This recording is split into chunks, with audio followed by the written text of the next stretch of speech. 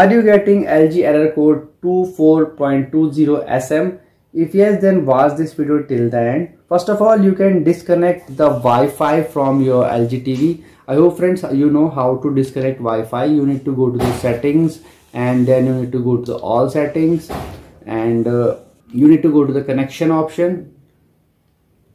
And from here you can see network connection settings.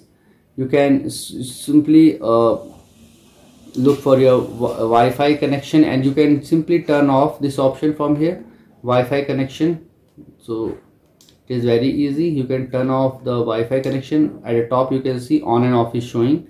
You can turn off this specific Wi-Fi which is connected from my name. Just click on this and it will turn off. After that you need to uh, go to your phone and you need to turn on Wi-Fi hotspot and then you need to use the phone Wi-Fi and then again reset your TV if it does not work. Make sure to uh, use your different Wi-Fi connection and reset this TV if it does not work if it, it, it does not work then you can simply reset your TV yeah this is I'll go to support and at the bottom you can see reset to initial setting is also showing.